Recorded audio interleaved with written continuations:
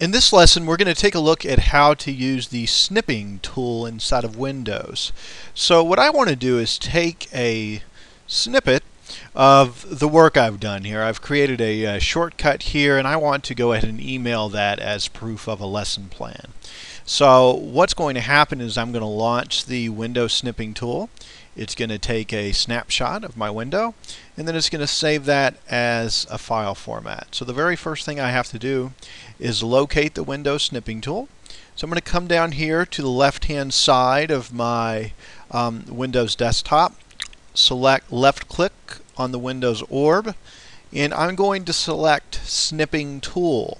If for whatever reason the snipping tool is not showing up, you simply just um, type in snipping and it will show up at the top as a snipping tool. So we will left click that with our mouse.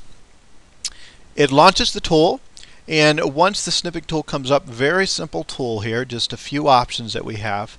We want to select the drop down menu from new and instead of making a rectangular snip, which is not something that I want to do, um, I want to do a full screen snip. So I'm going to select full screen. It automatically takes a full screen snapshot um, without me doing anything else.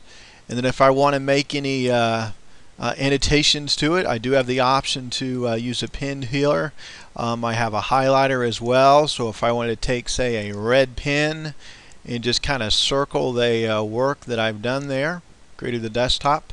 Um, so I've got proof of that. It just kind of directs the user to that attention.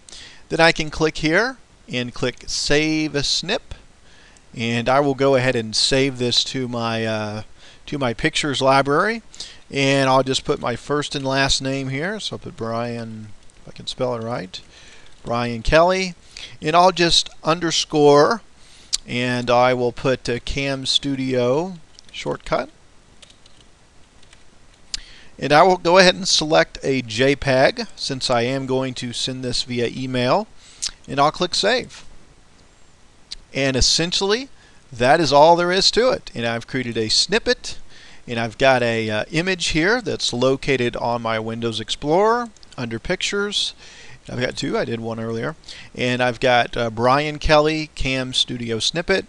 And when I take a uh, just a preview of that, that's what it looks like. So it's basically snipped everything in my Windows environment there. And that's how you can use your snipping tool.